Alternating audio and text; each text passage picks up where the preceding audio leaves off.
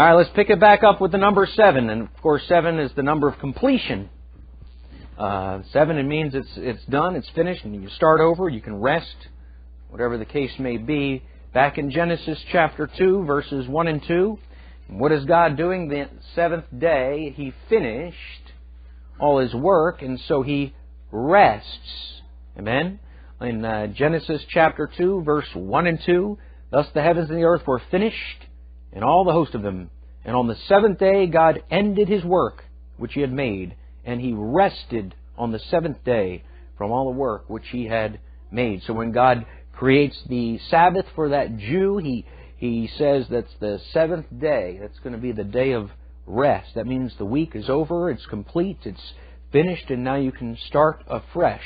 And of course, we know that in 7,000 years is going to be the completion of the human race on this earth. One day is with the Lord as a thousand years. A thousand years is one day. And the context and reference of that in 2 Peter chapter 2 is very simply from the beginning to the end. And he says in the middle of that thing, Be not ignorant of this one thing, that one day is with the Lord as a thousand years, and a thousand years is as one day. So you got 7,000 years of human history on the earth. Uh, you got seven holes in your face. You got seven things that protrude off of the trunk of your body, male or female. You've got seven notes of music.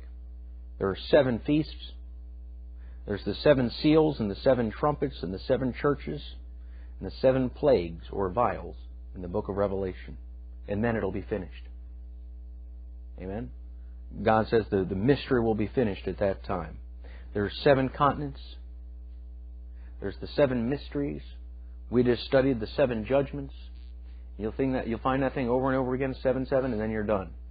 count up to seven, and you start over again. So seven is completion. So in Genesis chapter seven, God is finished. He has completed everything necessary, and so He sends the flood to finish man and start over again. Amen.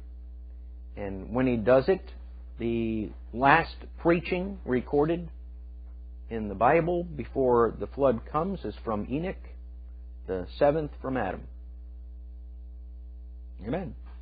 And uh, he's he's he's preaching that they're ungodly, and he's preaching apostasy, and he's preaching they need to get right, and, and all that's what he's preaching over there in the book of Jude. You'll find that. All right. So uh, seven is the is the number of completion. It's finished. Number eight, of course, then is the number of new beginnings. There are seven notes in music. It's A, B, C, D, E, F, G, and it starts over. The eighth note is an octave up. It's a new beginning. So you'll find eight in the Bible is, this, is the number of something new. So it was Noah plus seven for a total of eight that went on the ark. Amen. And so in Genesis chapter 8, you find a, a new world with Noah stepping out of the ark into that new world. Look in Genesis chapter 17. Genesis chapter 17 in verse 12. He that is eight days old shall be circumcised among you. How old was that male to be when he was circumcised? A new beginning. See?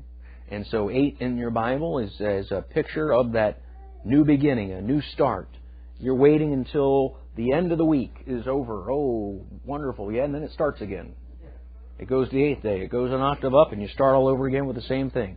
And uh, that's that's how those things go. See, it's uh, eight is the uh, the number of new beginnings, the number of something new. Look with me in 1 Samuel chapter 17. 1 Samuel 17.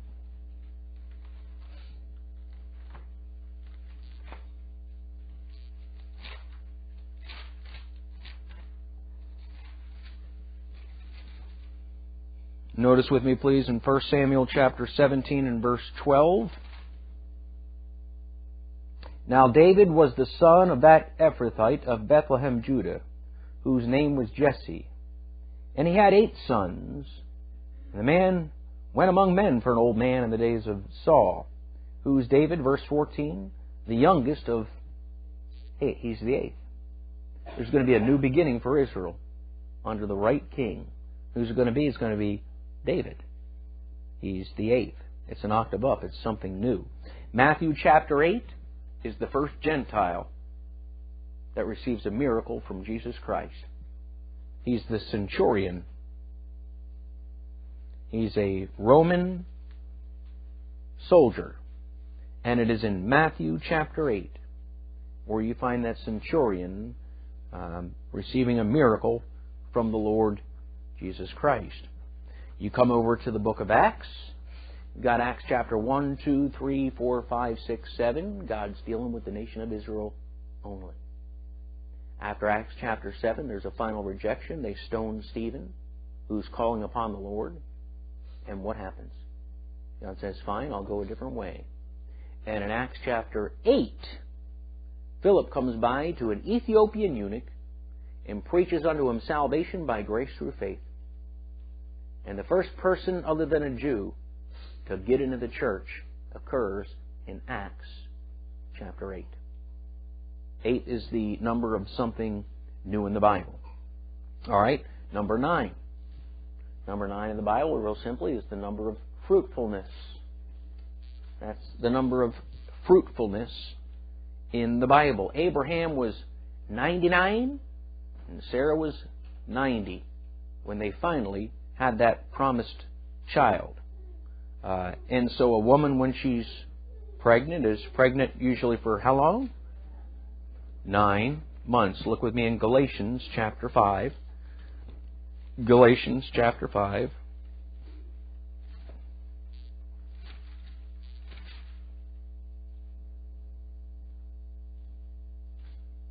Look in Galatians 5.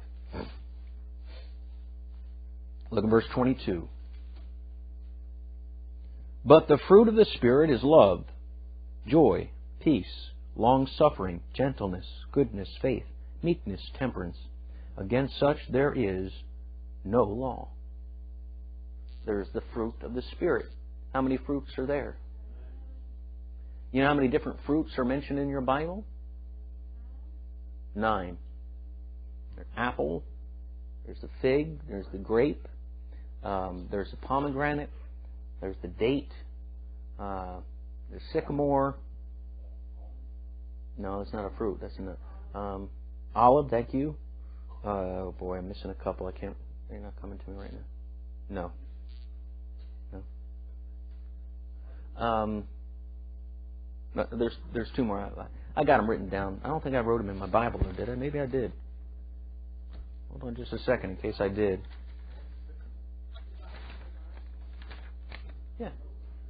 Uh-huh.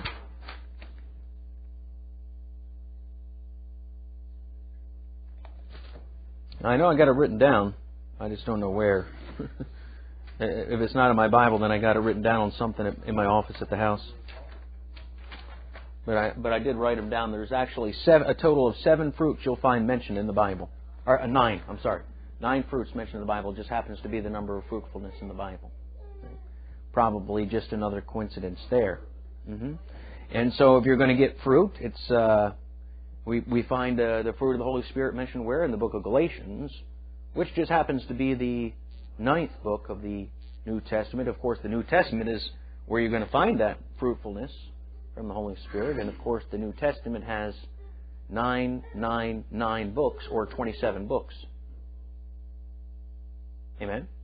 So there's where the fruit comes from. It comes from the number nine. Uh, Holy Ghost has how many letters? All right. King James has how many letters? Holy Bible has how many letters? Nine, nine. 16, 11. 1 plus 6 plus 1 plus 1 is what? 999 right in the front of your Bible. You ought to have known it was the number of fruitfulness then, right? That's where the fruit comes from. Fruits, uh, the, the number of fruit in the Bible is 9. All right, how about 10? 10 in the Bible is the number of the Gentiles. Okay? When God's dealing with Israel, you're going to find with Israel it's 12, but with the Gentiles it's 10. That's why as Gentiles we count to 10 and start over. God counts to 7 and starts over, we count to 10 and start over. You occupied with the child's. Uh, never mind. I'm just giving you a hard time. Genesis chapter 10. You know, I try to never miss an opportunity. Genesis chapter 10. Oh, look who shows up in Genesis chapter 10 and verse 5. The Gentiles show up. Where do they show up? They show up in Genesis chapter 10. That's when you find your Gentiles showing up in the Bible. Say, why? Well, there weren't any Gentiles before the flood. Wasn't any such thing. The, the Gentiles come after Noah. Amen. You don't have any Jews before the flood. You don't have any of that. It's after the flood when all that stuff starts. See, that's where your races and everything come from. Right there. It's, a, it's after the flood. Say again. Yeah. Yeah. Amen. Well, yeah, probably something to that, huh? I wouldn't doubt it. All right, so uh, 10 in your Bible, the number for the Gentiles. Um, look in verse. Uh, where do I have here? Um, verse. Uh, oh, the, the 10 kings of the Antichrist. There just happens to be 10. Guess what nations they're from? You see? And that's that's the thing there is, is ten is always associated in your Bible with with the Gentiles. Uh, Acts chapter ten. And listen, in all these I could give more examples of any of these numbers. I, I don't want us to be here more than one week doing it. I'm trying to get through it in one week just to I, I want to just kind of lay a little foundation so you have something with some verses to go by. Uh, but as you study the Bible on your own and as you're reading the Bible, these may be some interesting things that help you out as God may give you some light upon the scriptures on something. Look in Acts chapter 10. Oh, guess what happens in Acts chapter 10? The door to the Gentiles is opened. Peter is sent and uh, preaches the word there to Cornelius and all his house, and they're saved by grace through faith. God reaches that Gentile when? He does it in Acts chapter 10. The number of the Gentiles in the Bible. Look at verse 45. And they of the circumcision, which believed, were astonished, as many as came with Peter, because that on the Gentiles also was poured out the gift of the Holy Ghost. When did the Gentiles get the Holy Ghost? In Acts chapter 10, the number of the Gentiles. All right, um, number 11 in your Bible, that's the number of earth. Uh, look in Genesis chapter 1, verse 1. Say, wouldn't that be the number 1? Well, 1 and 1 is 11. It depends on how you look at it. In the beginning, God created the heaven and the earth. So uh, uh, there you have it for that. Verse 11. Now we'll look at 11. Verse 11. And God said, Let the earth bring forth grass. You see that? There's the earth. Look in chapter 11. Verse 1.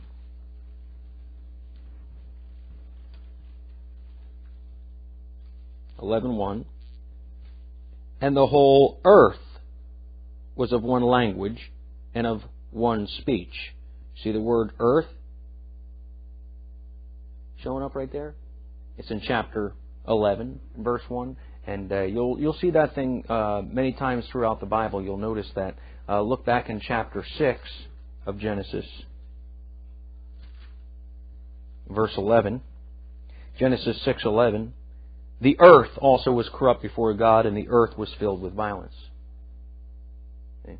So eleven and uh, the earth. There's a there's a connection right there. Look in Revelation chapter 11.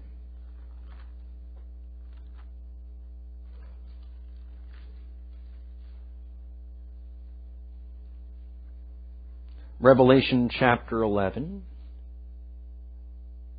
and verse 1. Was it verse 1? Yeah, verse 1.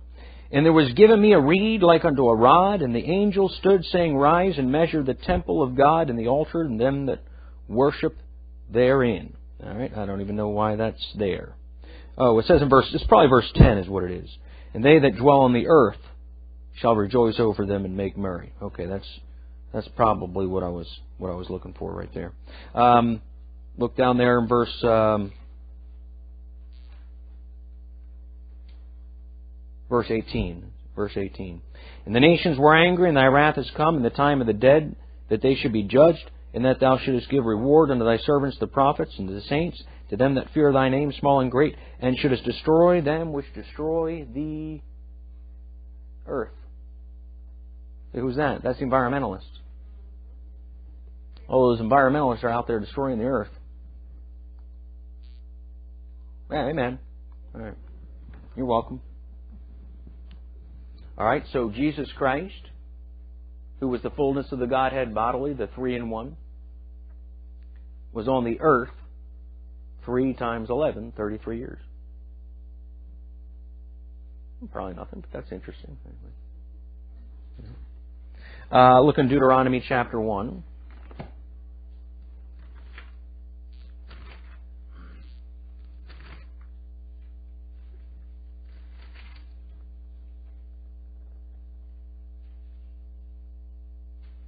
God is promising to that Jew physical promises. And the ultimate promise and where the whole thing is going to end up is, is the whole earth. But notice what he's doing here. He's he's he divided the sea to take it through, and he's going to give them earth for uh, their reward. Verse two: There are eleven days' journey from Horeb by the way of Mount Seir unto Kadesh Barnea, which means if they had just walked straight there, it would have taken eleven days to get to the promised land, right? How long did it end up taking them? Yeah. Most of them never made it, and those that did, it took 40 years. That's like a lot of Christians. Basically, what God's saying is, you could get to the point where you need to be in your Christian life if you had absolute and complete and total obedience in 11 days. But it's going to take you 40 years because you're rebellion. Well, look at verse 3. It came to pass in the 40th year in the 11th month, on the first day of the month that Moses spake unto the children of Israel according to all that the Lord had given him commandment unto them, and so on and so forth, and they go on and, and taken that earth, taken that land. All right, uh, this one should be pretty pretty obvious to you, but 12 in the Bible is the number of Israel. All right, you have 12 tribes to the nation of Israel. Uh, when Christ comes to him, he calls out 12 disciples who later become the 12 apostles. Okay? Uh, you take a musical note, it goes up to 12. Brother Ray, you just told me it goes up to seven and starts over. I know that, but you got half notes, those black notes. So if you take those seven and then those five black notes, you actually have a total of 12 notes in music in a scale before it starts over. So you could say seven, you could say 12. Or you could just make a chord with three. Three, seven, twelve. If somebody was really good at mathematics, I bet you they could figure some things out about the Bible. It was Albert Einstein that said one time, uh, he was a great atheist, of course, and, and uh, he said, uh, I can't believe in a God that's not a mathematical equation. Well, that's too bad for Albert Einstein, because if he had gotten saved and gotten his Bible, he might have been able to figure some stuff out. Uh, when you start putting all that stuff, it's wild, man. You start looking at those number combinations, and there's certain ones that fit together, and there's others that don't, but they fit with other numbers. If you can figure that out and find their sequences and stuff in the Bible, you know what you've got here, right? You understand what this is? It's the book of life. You want the genetic marker for life? It's found in there. I guarantee it. I don't know how to find it. But I guarantee a great mathematician could. If he knew his Bible uh, well enough and knew those numbers, he'd get it. He'd figure it out. You take that 3, 7, 12, you'd come up with something right there. Sure would. You take 6 and 13 and 5, you'd come up with something there. Absolutely. Hmm? You take um, well, three and nine, you might come up with something. Okay, Eric? Have you ever heard of a group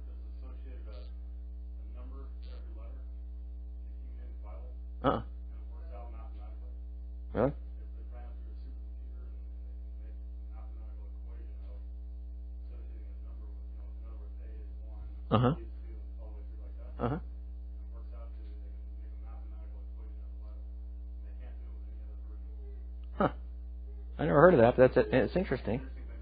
Yeah, yeah. I, I wouldn't mind checking that out if there's a book or something on it. Mm-hmm. But it only works in the King James Bible. Huh? Yeah, that might just be a coincidence. There's 12 constellations. You get up there, there's 12 of them. It's divided into 12. There's 12 hours in a day. You start over again. So, uh, and there's a big connection with 12 and, and Israel. All right, now we're going to look at an interesting number in the Bible, the number 13. What's the number 13 associated with? Look in Genesis chapter 14.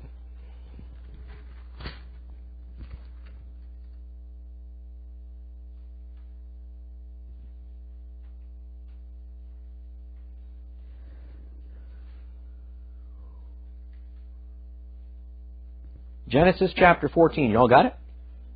Look in verse 4. 12. This is the first time the word 13 shows up in your Bible. Twelve years they served Chedorlaomer. And in the thirteenth year they, what's that word? Rebelled. Thirteen in your Bible is associated with the number of rebellion. So, who showed up there to make the Tower of Babel? It was Nimrod, the 13th generation from Adam, a picture of the Antichrist. That's kind of interesting. Uh, look in Genesis chapter 13, and let's try verse so uh, 13. The first 13, 13 in your Bible, what do we find? But the men of Sodom were wicked and sinners before the Lord exceedingly. But it's just an alternate lifestyle, and we should love them. And what does God have to say about them the first time they show up? They're what? Oh, there happens to be 13 words? Uh, it's probably just a coincidence. Uh, it's associated with sodomites. Closest thing you're going to find on this side of human race to the devil right there. Amen. And uh, that's that's uh, God's way of letting you know something about that number 13. Uh, look in Exodus chapter uh, 13. We'll try chapter 13.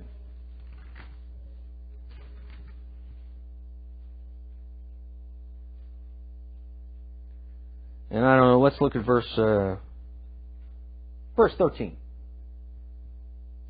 And every firstling of an ass thou shalt redeem with a lamb. The Bible says man is born as a wild ass's colt.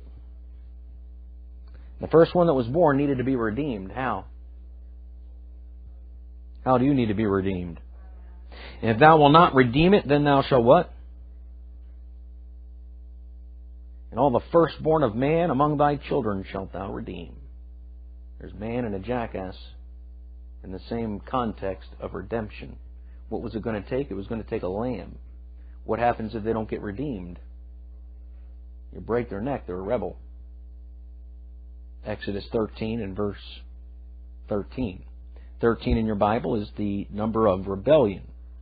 Well, let's try Leviticus chapter 13. This might just be a coincidence. See if we can. Oh, what do we find in Leviticus 13? Oh, that's the chapter on leprosy, isn't it? Of all places for God to put the one chapter in the Bible on leprosy, what chapter does He put it in? Well, He puts it in the number 13. Interesting, isn't it? Look at Numbers chapter 13. We'll see if we can break the trend here. In other words, there's some of them that you can just tell, but this one is probably more than any other one in the Bible. God has this thing standing out. I mean, it's sitting out there like a sore thumb, and there's a reason for it. There's a reason for it. Genesis chapter 13, because it's going to tell you who the Antichrist is. You put that 13 and that 6 together, you've got your boy. It wasn't any coincidence that 666 was found in verse 18, but it was even a greater non coincidence that was found in chapter 13 of the last book in your Bible. That's where you find the number of the beast. It's chapter 13 in verse 18, 666. So whatever you do, watch out for Friday, sixth day of the week, the 13th. You get 6 and 13 together, buddy, you got problems. You say, what does that mean? I have no idea. But one day we're going to know. The closer we get to the Lord uh, coming back, the closer to the Antichrist, the more that stuff is going to, going to, it's going to, you're going to see it. I don't know if that means something's going to happen on June 13th or if something's going to 6 and a 13 some other way with something. I don't know. All I know is there's definitely God is pointing out something there that you can't miss.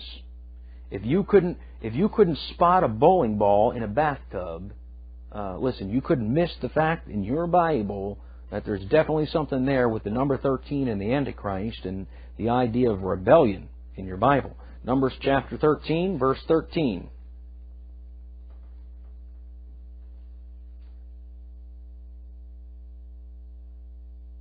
I have no idea why this is in the Bible, or why I unmarked this one. Of the tribe of Asher, Sethur, the son of Michael. All right. There's probably a reason why I had that down here, but I have no idea what it is right now. I don't know. That's what I'm saying. There's probably some uh, note I had on that that I don't have here, and so I can't figure out why I had that note. So, never mind. Deuteronomy 13. Let's try that one. Either that or I just got in the hang of doing it and just started doing it for every book of the Bible. I'm not sure. Uh, well, yeah, de- definitely Deuteronomy 13, verse 13. Deuteronomy 13 and verse 13. The, uh, certain men, the children of Belial,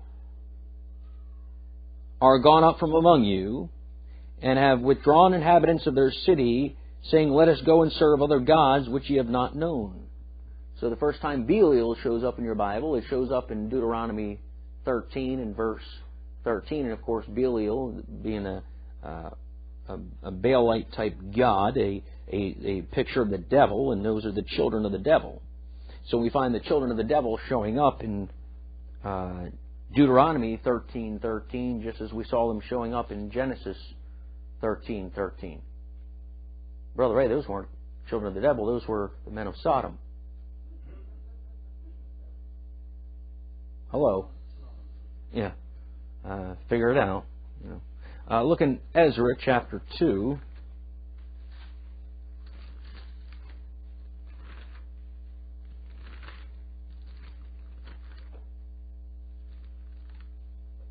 Let's try verse uh, 13.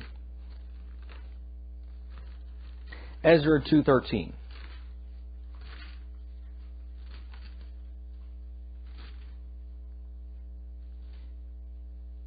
Y'all got Ezra chapter 2? All right, look at verse 12. The children of Azgad, 1,220 and 2. The children of Adonikam, 666. The only dude out of all these guys and all these genealogies that shows up with 666 kids, and it just happens to be found in verse 13. Now you think of the chances of that.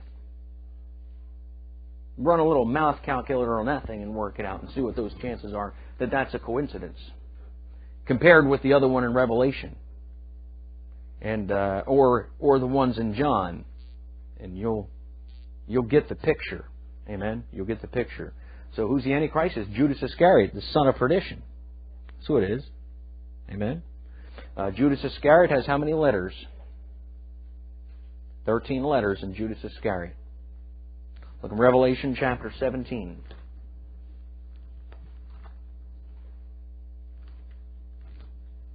Revelation 17.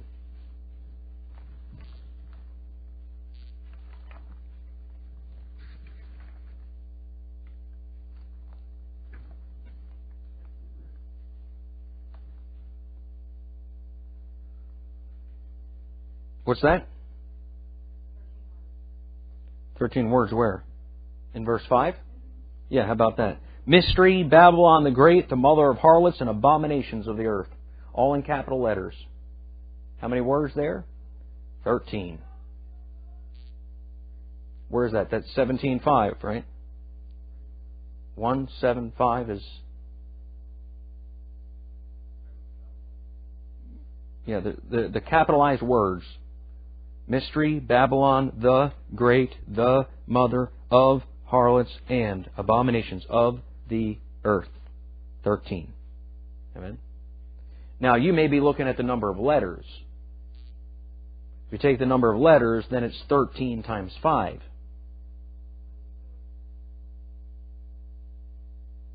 See? Uh, 13 times 5 is 65. There's 65 letters in that thing. It's probably all just a coincidence. That's in chapter 17, 1 and a 7, verse 5 plus 5 is 8, is 13. 13 is just showing up all over the place, man. And it's connected with Judas Iscariot. See? What was that, Doyle? Yeah. Put the, two of those together, you got trouble, man. Amen? What's 5 times 13? 65? Is that what we said?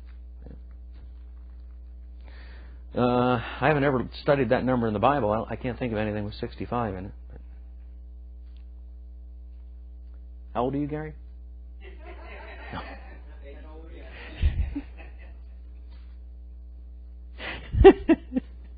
he gave me that look, buddy. All right. Uh,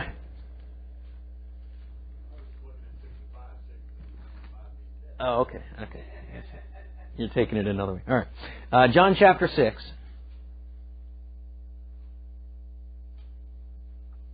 Say, can you take all this stuff too far? I'm sure you can. You know, you can get ridiculous with it, but listen, when there's just something there, there's something there. You can't you can't miss the thing. Amen.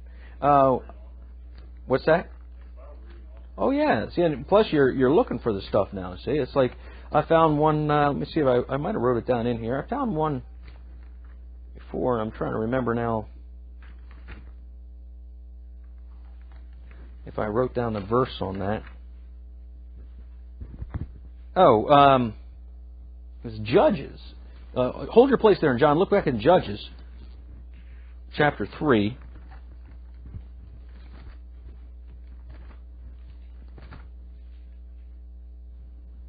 And it was a connection between that 6 and that 13.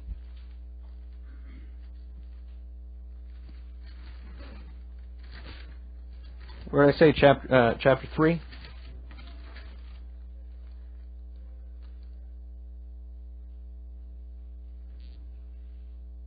All right, what do I have down there a verse? I missed it. No, that was a chapter. But I, there was a verse, and I can't remember what it was now. Um, I have verse 14. 3:14. So the children of Israel served Eglon, the king of Moab, 18 years.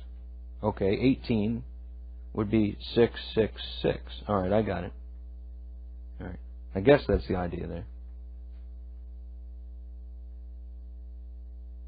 I guess I guess that, that's where I was going with that. I don't know what else it could have been. All right. Um,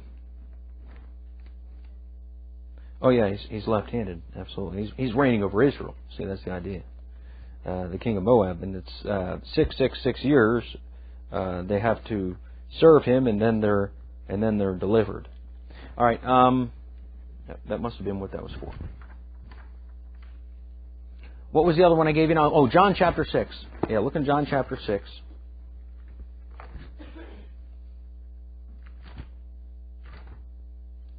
Now, this I find interesting.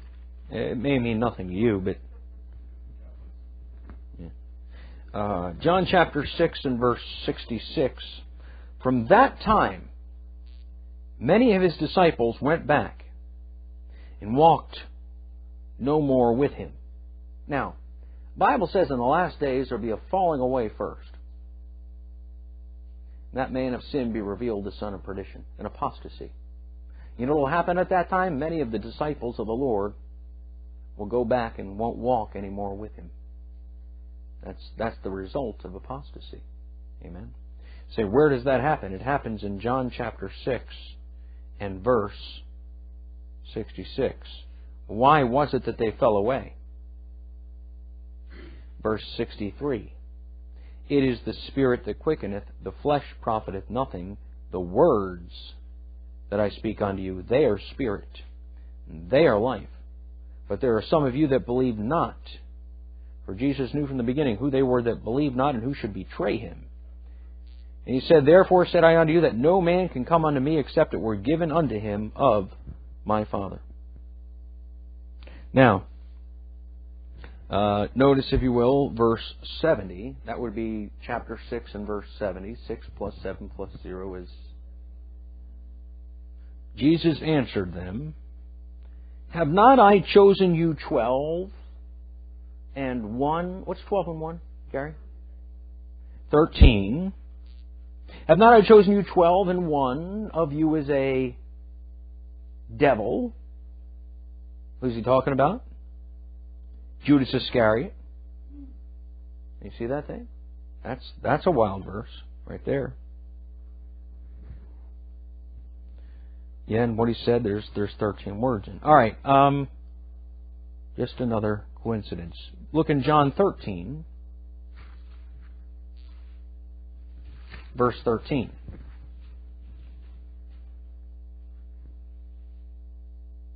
Listen, these are one of those things. If you're talking to somebody and it's interesting them to them, and you get them involved in reading the Bible through it or something like that, do it. If this is one of those things where somebody says, "Well, you can't say that," listen, don't get in an argument with them about biblical numerology. See, exactly. This is not anything that you want to, you know. If somebody doesn't want to believe in biblical numerology, I'm not going to break fellowship with them over it. It's no great doctrine of the faith kind of a thing. But what it is, is it's a way to help you when you're studying your Bible to see some things and God to, to show you some things that otherwise you might not see. Uh, John chapter 13 and verse 13. Ye call me Master and Lord. Now that's in John 13 and verse 13. Master and Lord has how many letters? You say, well, for so I am, there he is, there's the I am. Why does he say that ye call me master and Lord? Well, he's washing their feet, right? And somebody's getting ready to betray him, right? Look what happens over there in verse 26. That's two 13s in chapter 13. Chapter 26, or verse 26 of chapter 13. Jesus answered, He it is to whom I shall give a sop when I have dipped it. And when he had dipped the sop, he gave it to Judas Iscariot, the son of Simon, and after the sop, Satan entered into him. And you see that? All right, so it's uh, Satan is just getting ready to betray him. He's washing the feet of the disciples, and Judas Iscariot is one of them that's there. And so he says unto them, You call me master. And you know why the Lord said that? Judas Iscariot never called him Lord. You can't find that one time in your Bible. Whenever Judas Iscariot is talking to Jesus Christ, he calls him Master, but not Lord. Amen? No man can say that Jesus Christ is the Lord but by the Holy Ghost. All right, look in Second Chronicles chapter 9.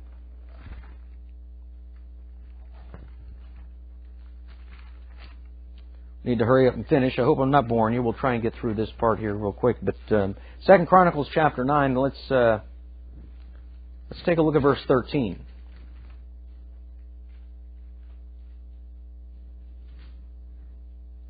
Y'all got it?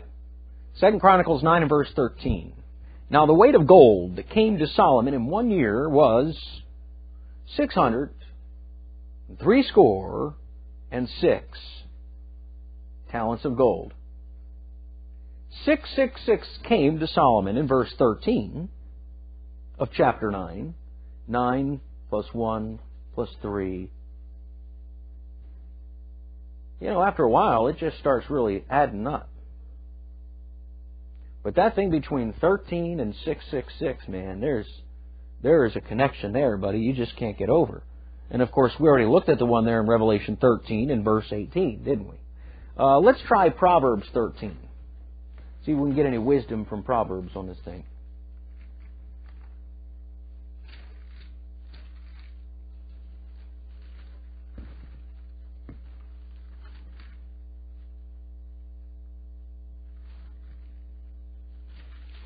Proverbs chapter 13. Let's, let's look at verse 13. Whoso despiseth the word shall be destroyed. Well, amen. Well, I know who does. The devil does.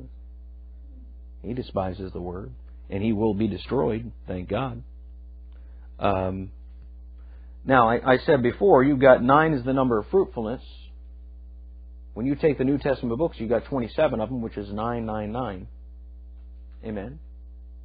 Now, out of the Old Testament, you don't get that. How does the Old Testament end?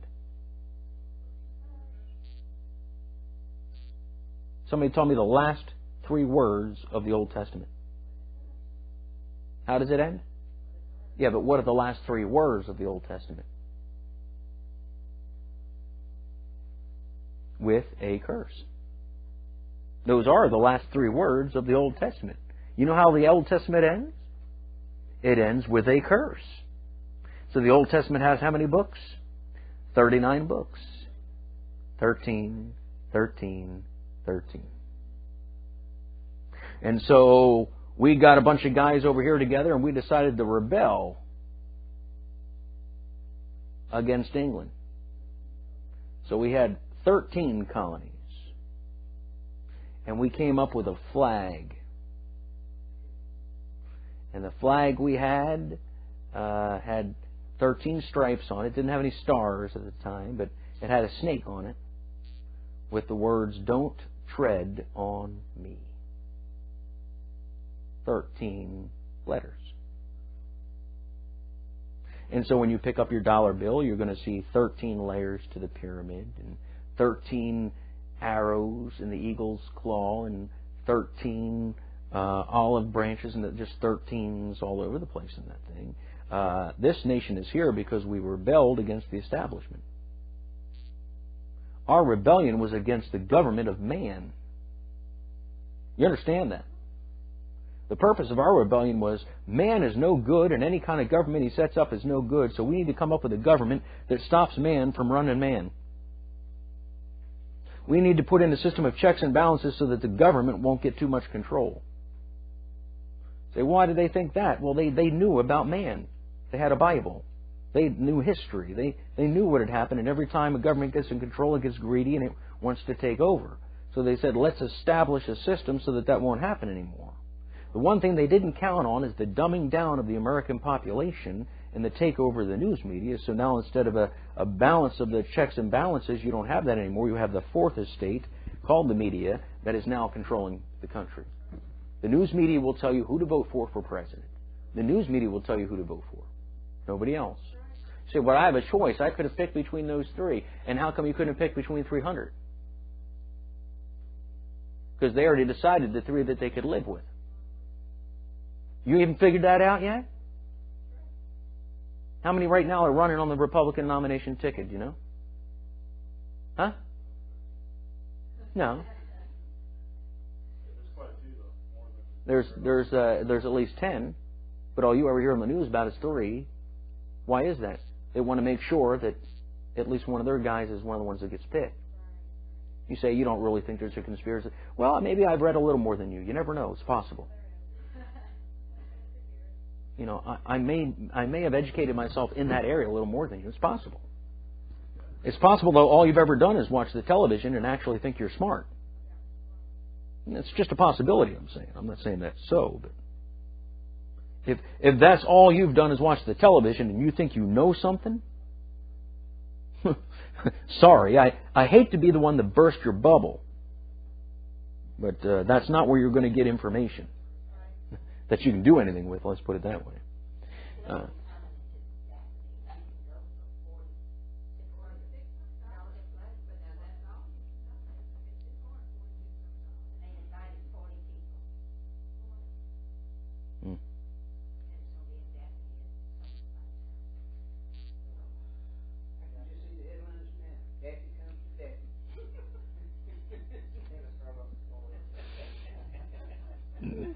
All righty then. Um, oh, let's do one more real quick before we close for the evening, and that's the number 40. You'll find number 40 in your Bible is the number of trial and testing. Over there in Genesis chapter 7 and verse 12. Uh, how long does it rain? 40 days and 40 nights. The number of trial and testing in the Bible. So there in Exodus chapter 24, uh, how many years are they left out there in the wilderness? 40 years. And then, and then they got, yeah, I'm sorry, and then uh, that's Numbers 14. How many, how many days in Exodus? He's up on the mountain? 40 days, amen. Uh, Deuteronomy 25, verse 3. What is that one? Y'all don't have it yet? What's that? 40 stripes. When somebody's punished, you won't go past that. That's the maximum, right? All right, so that's the trial and testing in the, in the Bible. Matthew chapter 4 and verse 2 is where Jesus is tempted of the devil for how long? 40 days and 40 nights. It's the number of testing, it's the number of trial. You can't miss that one. And so Jesus, after his resurrection, stays with his disciples and re- reveals himself for how many days? 40 days and then he's out. Amen. So uh, once you reach the age of 40, then you can say you know something. Because you've been through some trial, you've been through some testing. Amen. Or for ladies, it would be once you've been married for 40 years. Then you, yeah, then you've been through some trial you've been through some testing. Amen. Now, any questions on anything we covered tonight? Anybody get anything out of it? I hope it helped you some. You know, the, the idea it's um, you know, I feel neglect because I'm not like I don't know, I'm not beating you up on your sins or anything, which you probably need, but you know, it's just information. And so you don't want. I'm always worried when all I'm doing is giving information because you you don't want that to be everything in Christianity where it's just knowledge, where it's just information. You obviously it wants to work in your heart and do something for your whole being. But like I said, if you'll just take this, if nothing else, and just if it'll increase your faith in that book, if it'll help you fall in love with that book a little bit more, and realize uh, man does not live by bread alone, but by every word that proceedeth out of the mouth of God doth man live. If you want life, uh, if you want to be clean, if you want health, if you want strength, you'll you'll find it in the pages of Holy Scripture. We have the opportunity, like many of our forefathers, our brethren from years and years ago, didn't have the opportunity of. You know, they only came out with the printing press in the uh, late 1500s. So the opportunity for people to get Bibles is really only been around for about uh, you know 450 years. Think about that. And we have one and there was a, there was a period over a thousand years where Christians, when they got the Bible, they may have gotten the book of John or the book of Romans or a little bit here and there, and they had some churches where maybe there was a pastor that had a Bible that actually loved the Lord and helped those people, but you didn't have what we have now. We have an opportunity like uh, no one else ever. And the devil knows that. That's why all these new Bibles are out. He knows what he's doing. Uh, listen, the Catholic Church for, for centuries when men would try to make copies of Bibles and put them out and publish them, would have the men uh, tortured and killed, and the Bibles confiscated and burned. You ever heard of Tyndale? You ever heard of Wycliffe? John Huss? Uh, that's what's going on there. See, but finally, you know what happened, buddy? After after Luther got got out there, and then they started getting them printing presses all over France and Germany, and, uh, and then up into England and all of a sudden all them Bibles started to be printed out, and the Catholic Church couldn't destroy them quick enough and couldn't arrest everybody quick enough, and they knew they were in trouble. You know what the Catholic Church did? They had to come up with a different plan of attack. You know what they did? They came up with the Douay-Rheims version of 1582. Because they knew we can't stop this thing from coming out. The only thing we can do is make a diversion and take the Bible and mess it all up so bad that they won't trust this one and they won't trust that one. And They won't know what to believe and therefore they won't have a sound. That didn't happen until right before the King James Bible came out. The devil knows what he's doing. Catholic Church never made a Bible available to anybody ever, never would have. It wasn't for the fact that we were doing it so they didn't want to look too bad. That's all that was. Okay? And so the, you can you can see the devil how he how he figures that stuff. He, he's smart, man, smarter than any man. He's looking down there and he looks at that and he sees. Before you know it, everybody's going to be starting to get a Bible in their own language, and oh man, they might have a revival or something. I don't want to see that happen. So ah, we can't arrest them quick enough. We can't kill them. Let's do this. Boom. What did he do? He came out with another Bible, with another version. The first up-to-date new version and all that was the Douay-Rheims version. And it was the Roman Catholic Church, and it was their desire to do that. Amen. You take Roman Catholic Church doctrines and look how the King James Bible just disables every one of them. Then you compare all your new Bibles, and you're going to find out that all those verses where the King James Bible just totally shows you what the Roman Catholic Church is all about, they water all those verses down. Uh, somebody's out to protect their bride. Thank God the Lord's protecting us. But the devil's got his bride too. Amen. And got his Bibles.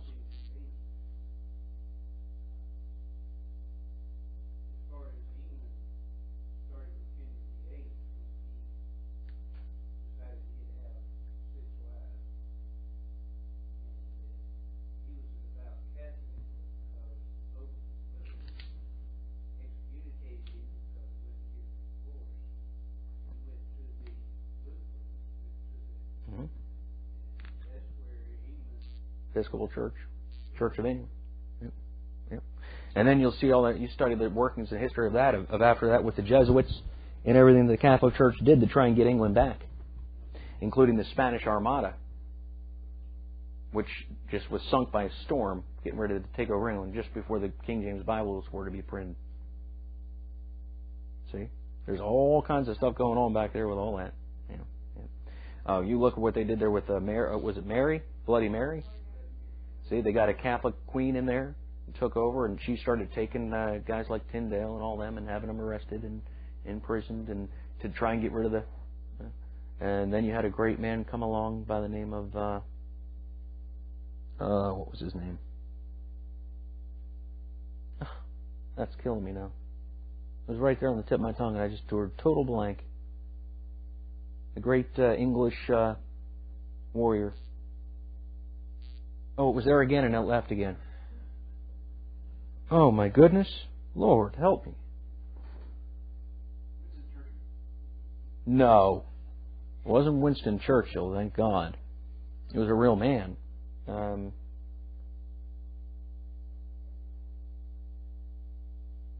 no, it's back in the 1500s. Um, he's the one that came in. He never lost a battle.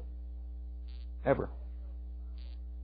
No, he was the they didn't have a king in England at the time. Thank you. Good night, nurse. Man, I don't know why that name just wouldn't come to me. Oliver Cromwell, great, great man, and uh, saved. The guy was saved, and uh, he was. He basically said, "We don't want Catholics in here anymore, and look what they've done to our country and everything." And buddy, God used that. He used that thing right there because without that darkness in there, the England was a because it was an island nation, God worked that thing out where now he had a country that he could use. So when he brought that King James, so why is it England? Hey man, that was it. There wasn't no America at the time. God wasn't going to wait until America to get a Bible together. As soon as them printing presses came out, there it came, you know.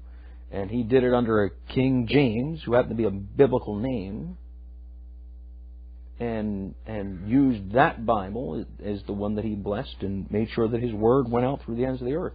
What happened after the King James Bible came out? England got right with God, man. England was on fire and revivals in Scottish and Wales and Germany and what are they all doing? They're going all over this globe putting out the gospel of Christ. At the same time, the Catholics are saying, "Oh no, they're doing that. We got to stop them." So that's why you got your French and your Spanish uh, places that were settled at the same time. Everybody was out for their chunk of the pie, as it were. But everywhere that England went, Christianity flourished. And, and the, all those areas that England was in, those are the countries that did the best. You know, places where Spain and France came in didn't do as good because it was Catholic domination, so they left their idolatry and everything else, and they, they were all third world nations. Right. Sure. That's that's the result of that stuff. Yeah. Well, Africa has more raw resources than anywhere. Talk about a waste. You know? I mean, you want to talk about fertile land for farming? You want to talk about uh, uh, diamonds and gold and all that stuff that's in, man, it's just for. Indonesia is another one. I mean, that place is loaded with all that stuff. And they just, it's like the Lord put it in all the places. I. I was just reading, what was I reading? Um, doing my Bible reading this morning, and I'd seen it before, and I kind of like forgot about it. But I read over it again and I said, there's got to be something to that thing. I'm gonna, I'm gonna, I need to do a study on that over there in Israel and find out what's going on. But God said He sent, He hid uh, riches under the sand. Where was that thing at? That was at the end of Numbers, I think. Um,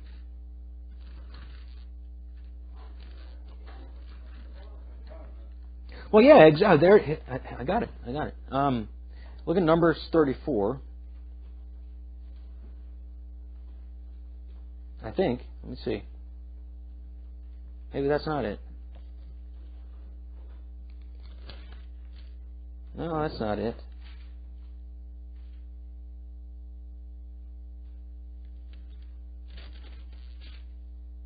That's not it.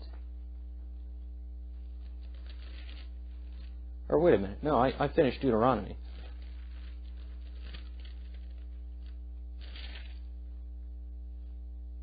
Look at this. See if there's anything there where he's talking about the different tribes. Um,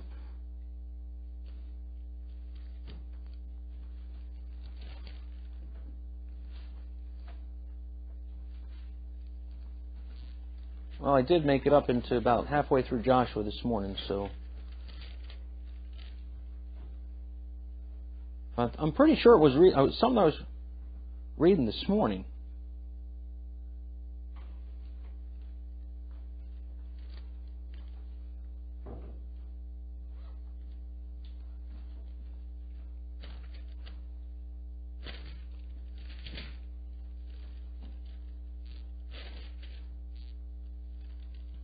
Oh, good night. Ryan, go get me my concordance.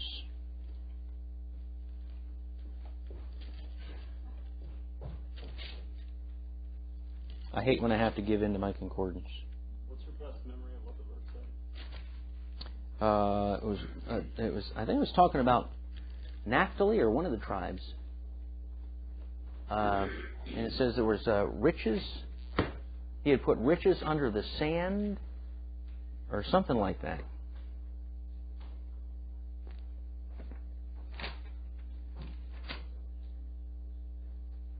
I'm going to kick myself when I find it too. I'm going to be like, what am I? What was I thinking? All right, here we go.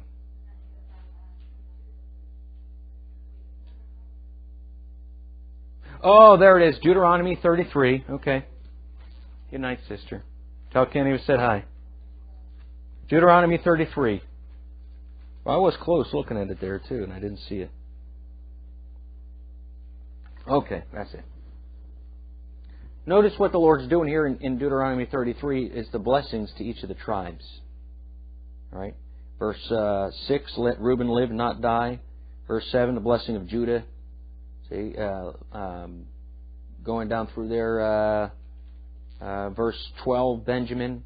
Verse 13, Joseph. See that thing? Um,